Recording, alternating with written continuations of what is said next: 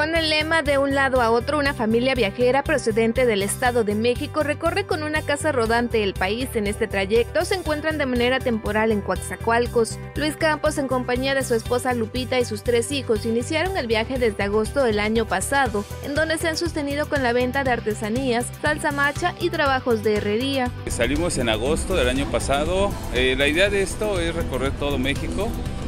Eh, no sabemos cuánto tiempo nos, nos lleve recorrerlo, vamos despacio, llevamos ya casi, vamos a cumplir el año y no hemos salido del estado de Veracruz, pero la idea es esa, darnos el tiempo para conocer todos los lugares por donde pasamos. ¿Qué tal les ha parecido Veracruz? Muy bonito, la verdad, lleno de historia, de cultura, de excelentes personas, que ese es lo mágico de este viaje. Los lugares es bonito conocer, pero la magia del viaje realmente son las personas.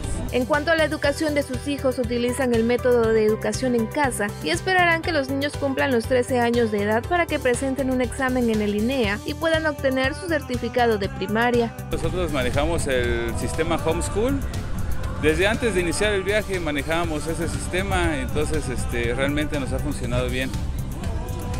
Eh, llevamos un programa, vamos, un programa eh, para el estudio con ellos, pero también nos enfocamos mucho en los intereses de cada, de cada uno. El vehículo que se convirtió en su hogar cuenta con espacios para que los niños duerman, una área para la cocina, así como para la enseñanza de los menores, un sitio para sus productos de venta, entre otras adecuaciones para habitarla mientras hacen su recorrido. Para conocer parte de su camino pueden seguirlos a través de sus redes sociales, Facebook, YouTube e Instagram, de un lado a otro. Donan Sin Zapata, RTV más noticias.